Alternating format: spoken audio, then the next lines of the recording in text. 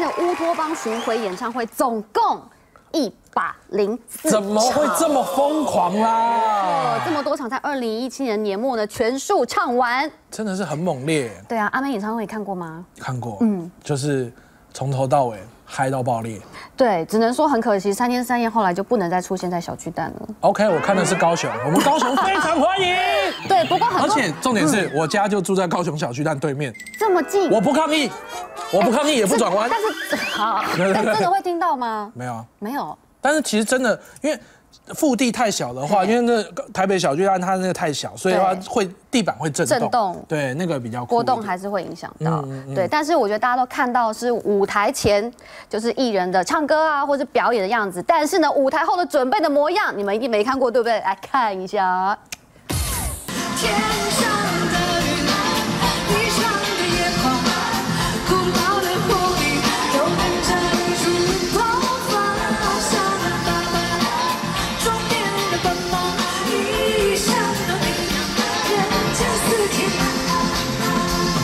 唱了两年八个月，张惠妹乌托邦巡回演唱会来到最后一站上海。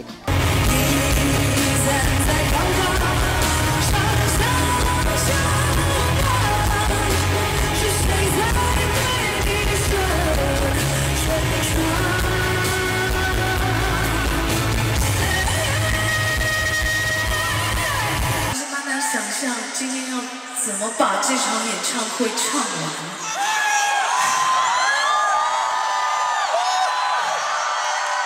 每唱一首歌，就觉得离结束越来越近。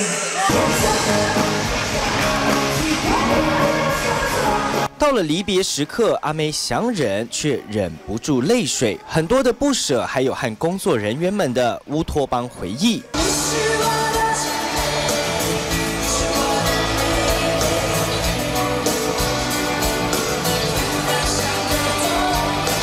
整场巡演，阿妹从台北出发到大陆、日本、东南亚、欧洲、美洲，几乎跑遍全世界，参与人数超过两百五十万人。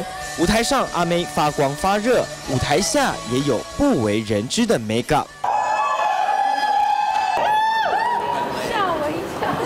在阿妹正式登台开演前四个小时，一抵达会场就会和所有工作人员一起在场外进行团拜，而开场前十分钟后台也很热闹。在台上，I contact, careful, have fun, yeah. 呃，彼此给彼此力量。阿妹按惯例都会和所有人手牵手一起祷告，偶尔还会开开玩笑。心情激动，但是不能哭。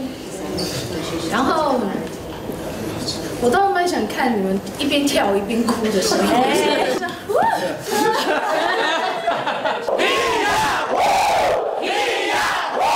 这段用足语来欢呼，也是阿妹登台前一定会做的事。接着走上升降台，还会用脚尖踢三下。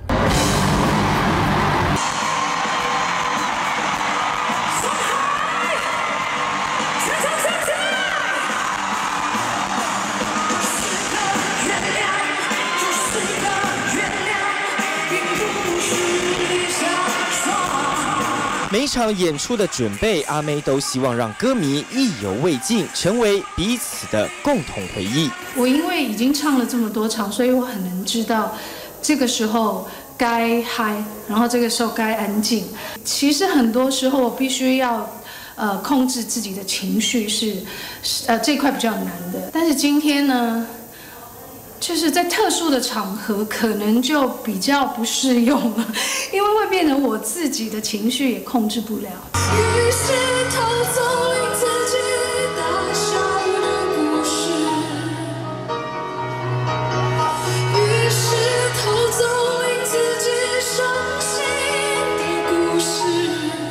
而演唱会特别来宾也很有看头，尤其是在高雄场。他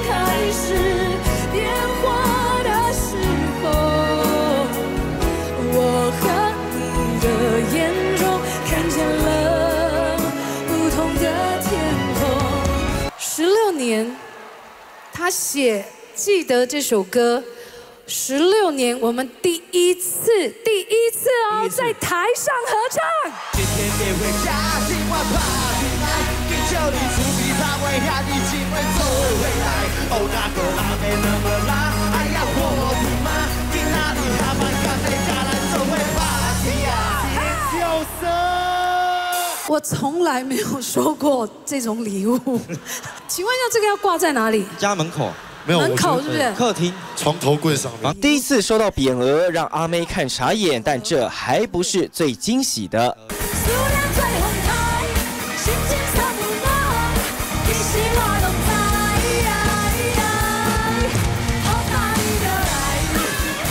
两人合唱经典歌，全场气氛嗨到最高。但在这之前，Hebe 可是出了不少难题给阿妹。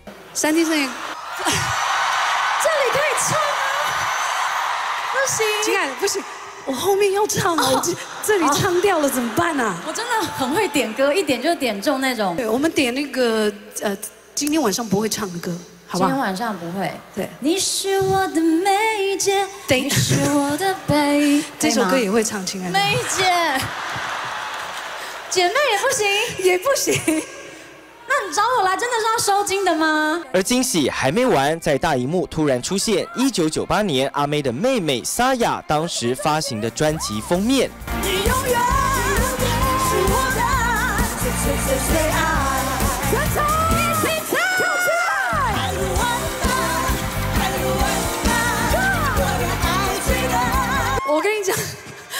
今天全家到齐，哇，真的耶！对呀，毛毛他们在哪里呀？毛毛他们在那边，是不是？在在那边，在那边那边。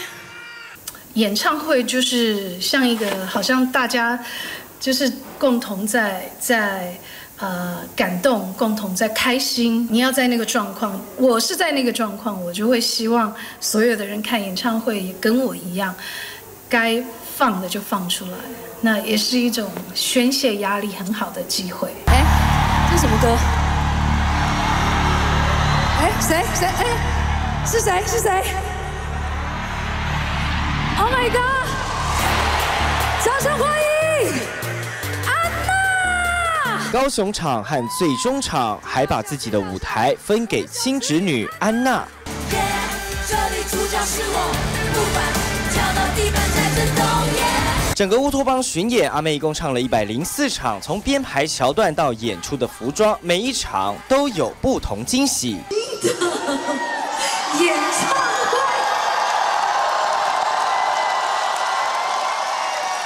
亲爱的，我才一百多场，刚刚休息。好，我会加油，好不好？被你提起